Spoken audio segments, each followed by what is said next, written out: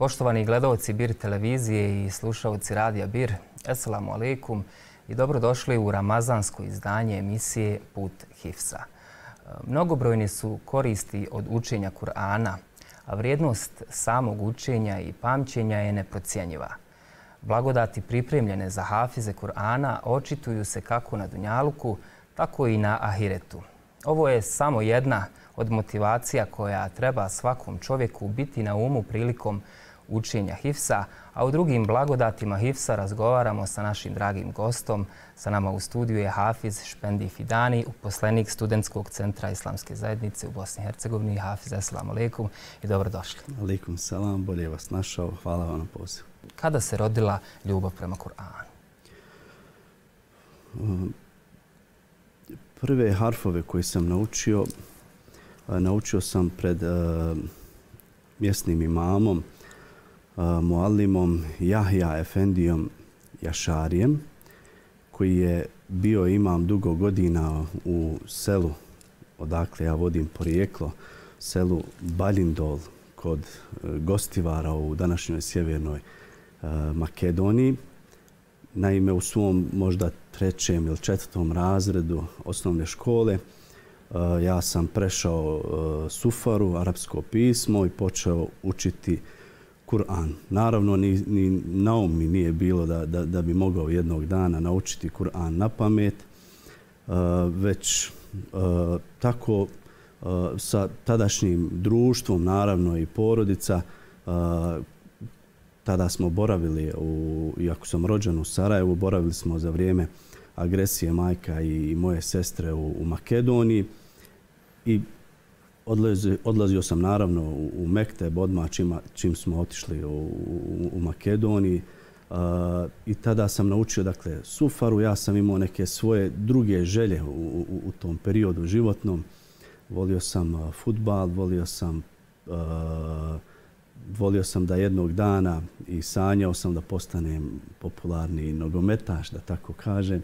Uh, ali evo ovom prilikom i ovo je možda najbolji način, zato sam vam e, neizmjerno zahvalan za, na, na prilici da razgovaramo evo, o mom putu e, uh, Hivza. Uh, e, zato što je jako važno da spomenem uh, mnogobrojne ljude koji su mi bili podrška na tom putu i koji su bili sebe, bili razlog da evo ja krenem tim putem.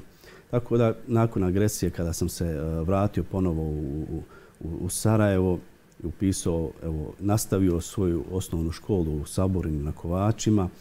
E, pred kraj, kada sam trebao upisati e, srednju školu, ponovo, dakle, e, tu se javio, evo, e, čovjek koji je najviše uticao u tom e, životnom vremenu na, da odaberem ovaj životni put. To je moj e, dedo, Hadži Naim, koji je možda je to zanimljivo, evo i odlučio sam po prvi puta to podijeliti javno, tu njegovu u kratkim crtama životnu priču. Naime, on je došao iz Makedonije u Sarajevo 60-ih godina.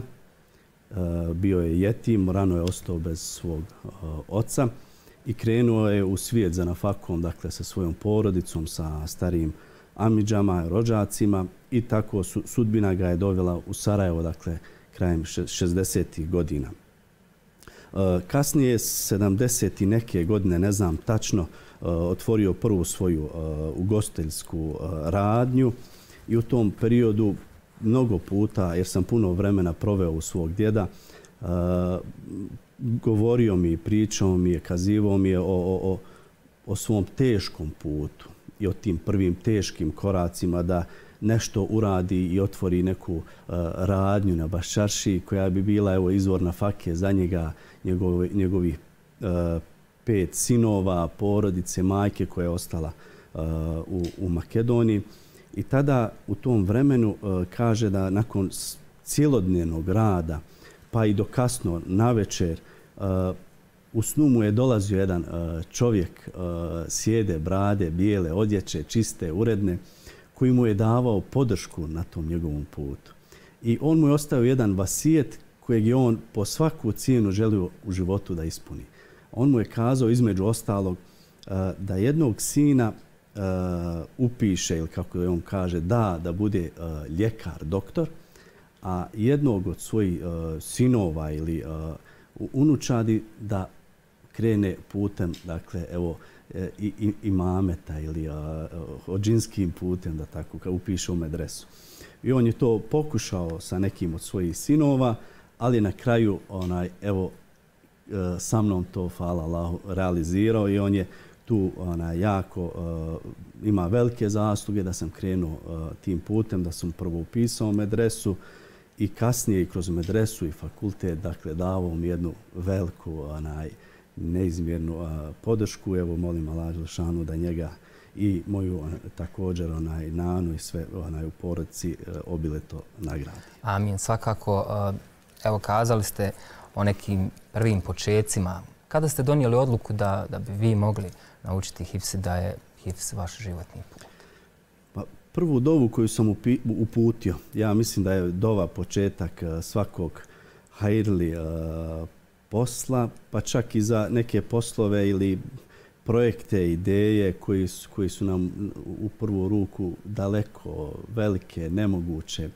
Uh, tako da ja bih onaj preporučio da uvijek imamo to uh, na umu i, i, i zapravo e, prvu dovu sam uputio, mislim da je to bio kraj prvog razreda medrese, početak drugog razreda medrese Karadžozbegove medrese u Mostaru. Sjećam se da su tada bili popularni, popularna tri hafiza, tada su izašle one kasete, tadašnje Lahija i Kasida. I svako je od nas imao nekog svog favorita među, među hafizima, jel? I ja sam nekako se odlučio i, i favorizirao tada uh, Hafiza Aziza Alilija, iako sve trojicu i neizmjerno i cijenim i poštujem. Uh, I sjećam se da mi je njegov životni put bio jako inspirativan, jako zanimljiv, s obzirom da je on jako rano postao Hafiz Kur'ana. I kada sam čuo za tu informaciju, onda sam otišao i do biblioteke medrese i listao stare preporode, da nađem sve jednu vijest koja je vezano, vezana za taj njegov put, put Hivza, kako je on došao u Sarajevo, kako je, ne znam, e, vrlo rano završio Hivz, pa njegova, e, ne znam, polaganje pred komisijom, pa učenje e, pred komisijom u jednom danu Kur'ana časnog. Za mene to bilo zaista nešto nemoguće, nešto veliko, golemo, koje, za koje sam mislio da, da jedan rijetki ljudi mogu tako nešto dostići. I sjećam se također uh, Eh, da sam te, uh, vi, te članke koje sam našao vrlo male onako kopirao pa bi onda makazama onaj to rezao i držao u novčaniku. I svako toliko bi poput neke motivacije ili nečega onaj izvadio, pročitao, vidio, o, tako da ja mislim da se tada tako rodila ta, ta želja. Vi ste već Eh, dakle, u medrecanskim danima učili eh, HIFS. HIFS je veliki posao, veliki to zadatak i obaveza. Eh, evo u samom procesu je li bilo momenata za, za odustajanje i evo šta uraditi ako se oni pojave ili desi? Svakako da je bilo i kogod je prošao taj put HIFS-a zna da, da je on pun uh, uspona i, i, i padova. Ja sam dakle počeo učiti HIFS u, u medresi. Nisam ga, nažalost, tada uh, završio. Nastavio sam na fakultetu. Nisam ni tada završio. Ponovo sam, ali sam se uvijek dakle, vraćao HIVS-u. I bio sam uvijek u tom procesu učenja HIVS-a, potom odlazak u, u, u Damask i specializacija arapskog jezika i tamo sam naučio nekoliko džuzeva Korana časnog. I nakon toga od 2011. do 2018. godine bio sam u Ljubljani imam. Tako da i u imamskom poslu ponovo sam nastavio sa učenjem eh, Hivsa. Tako da sam eh, u tom periodu eh, uozbiljio to učenje i vidio sam da je to period kada otprilike trebam nešto uraditi ili završiti proces učenja Kur'ana na pamet ili odustati skroz od takve, od takve namjere. I u tom procesu, dakle, dok, dok sam radio kao, kao imam u Ljubljani, uh, naišao sam na jednu veliku podršku u, tom, uh, u toj namjeri. S obzirom da evo, Slovenija nije nikada imala svoga hafiza i to mi je bio dodatno motiv za, za učenje hivza, ali u, u, u, nekom, u neka doba, dakle, kada sam to uozbiljavao, to su primijetili, to je primijetio prije svega uh, tadašnji uh, ljubljanski muftija, profesor doktor uh, Nedžad Grabus. I sjećam se dobro da smo na, na, na jednom našem druženju, on mi je ponudio, kazao je, ja ti mogu omogućiti šest mjeseci, dakle, odsustva sa radnog mjesta, mjesta da bi ti to kompletirao i završio s tim procesom. I tada također naš veliki uh, prijatelj i, i, i veliki vakif Ljubljanske džamije, Hadži Esad Mulalić i njegova Hanuma Hadžinca Hazima Mulalić, oni su također u tom, uh, u tom uh, projektu bili velika uh, podrška. Tada, tako da sam ja odlučio da iz Ljubljane dođem u Sarajevo za tih šest mjeseci i završim uh, proces učenja uh, Kur'ana na pamet. Kada sam došao u Sarajevo, ja sam tada uh, otprilike znao neki 13 džuzeva. Imao sam šest mjeseci da to završim. Uh, naravno, za taj veliki posao odabrao sam svog jednog uh, jako uh, dobrog prijatelja, uh, čuvenog već uh, hafiza, velikog hafiza Muhameda Lepira, uh, da mi bude muhafiz i on je to pristao i zaista smo mi krenuli na jedan uh, svakodnevni, intenzivni uh, period učenja uh, Kur'ana na pamet. Tako, a sjećam se, bio je to 1. maj 2014. godine. Mi smo tada krenuli i za četiri mjeseca smo završili prostali, obnovili 13 i završili prostali, dakle, onaj 17 uh, džuzeva koji su bili potrebni da se kompletira učenje Kur'ana na, na pamet. Nakon toga je period spremanja za komisiju po dva džuza dnevno. E, mislim da mi je to bio najteži period u, u učenju, e, u, u tom procesu učenja e, Kur'ana na pamet. I sjećam se da sam, to je prvi, e, prvi puta učenje po dva džuza dnevno na pamet. I znam da sam uh, otišao i do Hafiza Mensura Malkića, imama, imama Begove džamije, zamolio ga da porazgovaramo jer onaj, osjetio sam veliku dakle, tegobu, od, od, pritisak mm -hmm. i, i da tako kažem, nisam razmišljao da, da odustanem jer sam već došao do, do, do, do, do pred kraj, ali sam vidio da, da, je, da je situacija vrlo teška ili kako dalje nastaviti. Naravno, on me uh, ohrabrio i dao mi je uh, novi vjetar u leđa i na, na, evo, zato ga danas posebno i spominjem i zahvalan sam mu. I naravno imao sam čas da mi on uruči i, i diplomu, uh, džazet namu, tako da da je bilo momenata i za odustajanje i za i, i, ali nekako uh, vraćao sam se jer sam se godinama vraćao ponovo Hivzu i naravno tu je ključna uloga i Muhafiza koji je bio koji je uvijek tu spreman da, da pomogne i da prepozna zapravo te trenutke i da na vrijeme uh, reagira i da kvalitetne savjete. Upravo tako, ali na vašem primjeru možemo zaključiti dakle upornost i neodustajanje. Je li tako? 100%. Dakle, to, to je ključ e, ne samo u HIFS-u, nego u svim drugim uh, velikim projektima koji su jel, poput HIVSA. Upravo tako. Spomenuli ste i Muhafiza. Dosta je ljudi radilo sa vama dug je to period dok ste, hvala Bogu, evo, došli do te časne titule. Koliko je važna uloga Muhafiza, porodice, prijatelja koji su onako istinski prijatelji i koji vas podržavaju u procesu samom HIVSA? To je zapravo ključna, ključna uh, uloga Muhafiza i porodice prije svega. Uh, ja sam tada uh, 2014. godine sjećam se da smo supruga i ja e, dobili i, i prvo dijete i, i tada smo iz Ljubljane trebali doći u Sarajevo, a, e, rodio se naš prvi e, najstariji sin Muhammed koji je imao svega nekoliko mjeseci pa smo trebali svi skupa doći u Sarajevo i boraviti jel, taj period dok sam ja intenzivno učio e, Kur'an časni jer Eh, dakle, skoro pa da sam i na, na, na sedmičnoj osnovi viđao, jer sam se potpuno posvetio Kur'anu časnom. Muhafiz je, dakle, ključan. Eh, s obzirom, to govorim i na osnovu iskustva, nemam veliko iskustvo, ali evo, Allah me počastio da, da, da sam već izveo dva eh, hafiza na koje sam onako mogu reći posebno ponosan, možda više i na to što sam nosim titulu Hafiza, više sam ponosan na to da sam uspio pogotovo na, na o, tako kvalitetne male, mlade ljude prenijeti uh, to iskustvo i pomoći mu u tom uh, pro, procesu.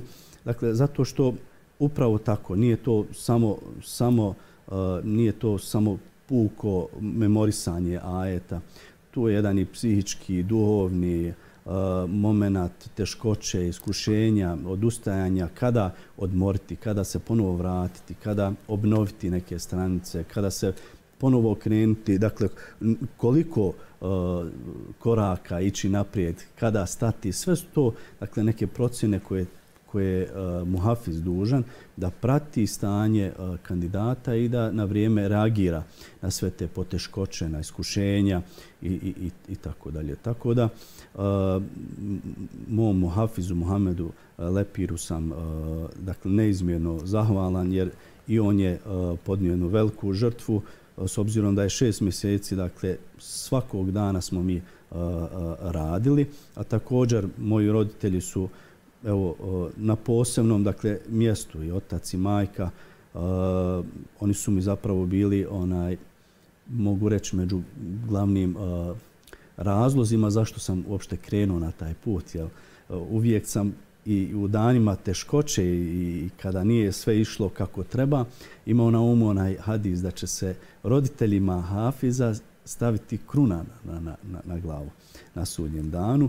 I vjerujte, e, nekako znamo da se ne možemo odužiti roditeljima na ovom svijetu, ali sam pomislio pa makar na onom svijetu da im evo kroz ovo možda malo pomogne mi to mi je, vjerujte, uvijek bila uh, uh, onako uh, posebna, posebna uh, motivacija i, i, i nešto što mi nije nikad dalo da, da, da odustane. E, Hafizka doba vjerujem da je najposebniji trenutak u životu jednog hafiza. E, evo da se malo prisjetimo kako je to izgledalo, kako ste se vi osjećali u tom momentu kada ste saznali da je konačno sve gotovo i da ste ponijeli titulu hafiza. To je nekako kao, kao, kao, da, kao da je čovjek u snu, kao da se to zapravo vama ne dešava, kao, kao da posmatrate sebe iz nekog drugog ugla baš je tako bilo. Posebno što je to zaista bio onako veličanstven dan. Jer je to prva hafijska dova koja je ikada organizirana u Ljubljani.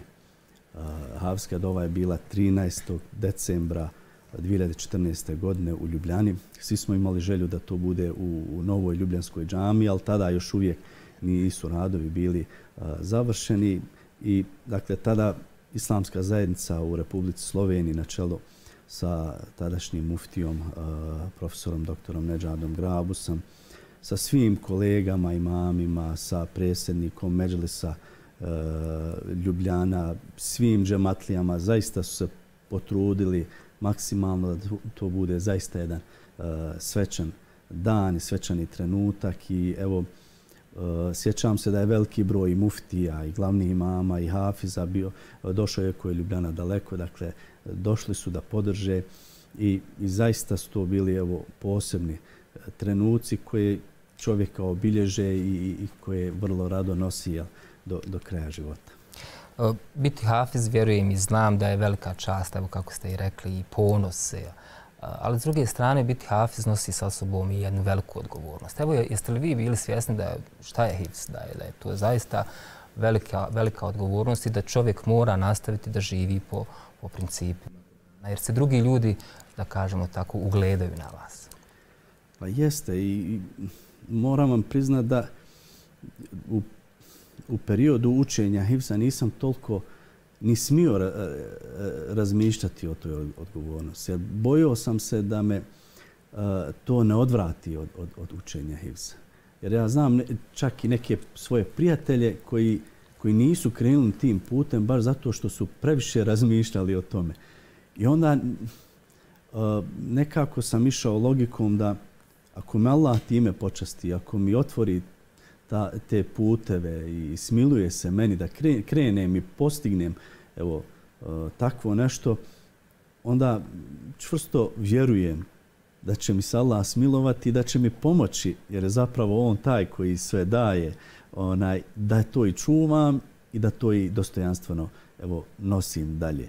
Tako da sam se više ovako oslanjao na Božju milost, jer nekako kad čovjek o, okrene svoj, svoj, svoj život i, i analizira i posmatra sa svih uglova, vidjet ćemo Božju milost samu na, na svakom koraku. Tako da i, i, i u procesu učenja Hivsa, mislim, mi smo tu ljudi uh, zapravo neko ko, ko treba da evo, prepoznajemo Božju milost i neko ko, ko, ko je krenuo tim putem i zato ta odgovornost je velika i ne, nema govora, uh, nema dana da čovjek o tome ne razmišlja, ali zapravo mi se oslanamo u Božju milost i od njega tražimo pomoć u svim poslovima, pa tako i u, i u ovome da, da nosimo časno ovu titulu. Tako je, Hafize, kazali ste veliki broj motivacija koje su, vas, koje su vam davale snagu da krenete dalje onako kada bi izdvojili jednu najvažniju motivaciju u toku učenja Hifsa, koja bi ona bila?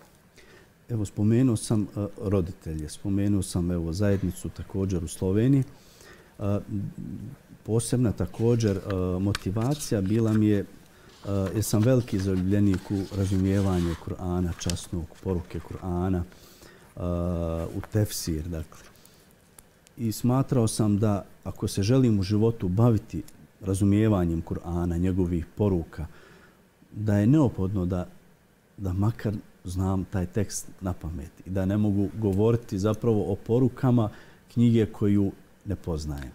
Tako da e, i, i, i s tog aspekta sam prišao Kur'anu i mislim da svako ima tu jednu posebnu vezanu za Kur'an, časni i da, da, da svako ima taj jedan poseban pristup Kur'anu, jer je Kur'an jel, jedan svijet koji, u kojem se svako od nas uh, pronalazi. Uh, I sjećam se, i na taj način sam zapravo učio Hifz u, u, kroz razumijevanje Kur'ana i sjećam se da je član komisije Hafiz a, Popara u jednom trenutku kada me ispravio u, u toku učenja Kur'ana, kazao mi na kraju, kaže, znaš kako sam a, primijetio da znaš arapski i da si da učiš s razumijevanjem. Ja sam kazao, ne znam kako, kako Hafize.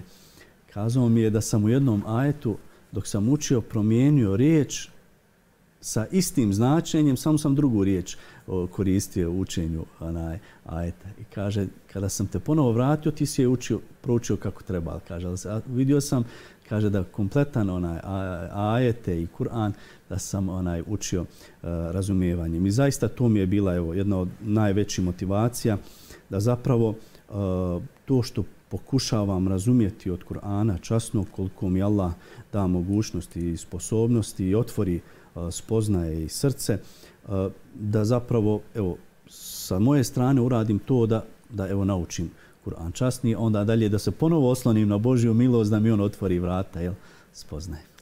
Kada je u pitanju e, obnavljanje HIFSA, održavanje HIFSA, evo, koje metode vi koristite, šta je najbolje uh, da čovjek uradi kako bi konstantno bio, jeli? jer znamo da, da gotovo Kur'an brzo se zaboravlja. Prije svega ova metoda koju mi koristimo ovdje u Bosni, metoda učenja Kur'ana časnog po krugovima je vrlo kvalitetna i, i dobra metoda. To se pokazalo uh, u, u više uh, primjera i, i zbog toga je uh, zbog toga mi imamo i vrlo jake hafize. Zato što se to toliko puta obnovi u procesu učenja Kur'ana časnog da, da je baš velika nemanost potrebna da bi se to uh, zaboravila. Tako da, da, da su naši hafizi, mogu slobodno kazati i, i to će potvrditi jeli, i, evo, i, i stariji hafizi od mene i, i ljudi koji, koji su duže u, u tome, a, da su vrlo kvalitetni i jaki hafizi. Eh, za svakog hafiza je potrebno dakle, svakodnevno eh, učenje Kur'ana časnog. Ramazan je posebna prilika kada se svi mi vratimo Kur'anu, ali posebno također i mi hafizi kada to dobro, temeljito eh, obnovimo. A također je vrlo važno i vrlo vrlo je zahvalno dakle učenje Kur'ana i spremanje kandidata dakle biti muhafis nekome kandidatu i to pomaže puno u tom procesu obnavljanja jer svakodnevno preslušavamo kandidate i u tog smo. Dakle, osoba koja je hafiz, ja vjerujem da, da, da svi hafizi, da su da je njihov život zapravo protkan Kur'anom časnim na ovaj ili onaj način. Svako ima neku svoju, jel, svoj način i metod obnavljanja i održavanja hifza. Hafize, brojne poruke ste večeras podijelili sa, sa našim gledalcima. Evo prilika za kraj da pošaljemo poruku ljudima koji uče HIFS, koji su na putu HIFS-a, koji su u fazama u kojima ste i vi bili i svaki drugi Hafiz. Evo, Evo, kroz rad u Studentskom centru islamske zajednice e, sa mladim ljudima, studentima, da susrećem veliki broj studenta koji su u toku učenja HIFS-a. I zaista prva i najvažnija poruka je, jeste da, da da slušaju upute muhafiza, da vjeruju svome muhafizu, a drugo da budu ustrajni na tom putu. Dakle, eh, da, da ne posustaju ni, ni po koju cijenu. Jer Kur'an zapravo ne samo mi često govorimo o tome koliko će nas Kur'an uzdići na onome svijetu, ali svi hafizi smo se, eh, vjerujemo, svjedočili, ja posebno evo, u svoje ime mogu govoriti, dakle, koliko nas Kur'an usrećuje, ali koliko nam daje blagodati još na ovome svijetu. Dakle, Kur'an je, dakle, ako, i, i, ako bilo čime možemo, onaj, ako išći možemo, da tako kažem, uh, uljepšati i usrećiti sebe, svoj život, promijeniti nabolje, to je, to je Kur'anu. Jer je Kur'an izvor bereketa, izvor svakog, svakog dobra. Tako da, uh, mladim ljudima i onima koji su na putu Hivsa uvijek uh, govorim da ne trebaju posustati. Teški trenuci su tu zapravo da se mi ponovo ustanemo, podignemo i nastavimo još čvršće, još jašće sa našom jel, odlukom i voljom i željom da to završi. Afize, evo na kraju smo razgovora. Meni ostaje samo da vam uručim jednu lijepu hediju našeg dragog sponzora. Hvala lijepo dakle, prodavnica odijela Maestro Sjuc e, radi najbolja i najkvalitetnija odijela po vašoj mjeri. Hafize, hvala što ste e, učestvovali u našem ramazanskom programu. Hvala i vam. Dragi gledovci, ostanite i dalje uz program radija i televizije Bir do narednog susreta. Assalamu alaikum.